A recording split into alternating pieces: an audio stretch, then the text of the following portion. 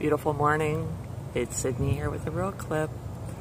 I've been off wearing a lot of different hats, doing a lot of different things over the past several weeks. And this morning I had a few real clips swirling around in my mind, so I have to pick one. And it's all about feelings. I walked out my door this morning to walk my puppy dogs and I walked out and it actually felt cool relatively. It is Florida, so it's probably still in the mid 70s.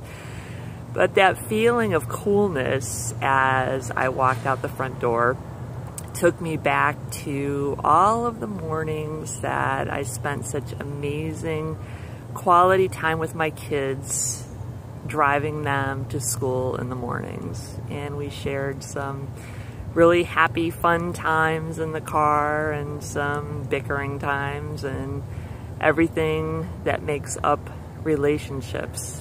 But the feeling of it is an amazing feeling to me. And the cool temperature triggered that feeling to come back. And that is a feeling that is anchored into my beingness. And we can all anchor feelings that we enjoy having into ourselves and recall them at any time we like. So that is an automatic anchor that just comes up. You may experience some with songs or experiences that the emotions come flooding back.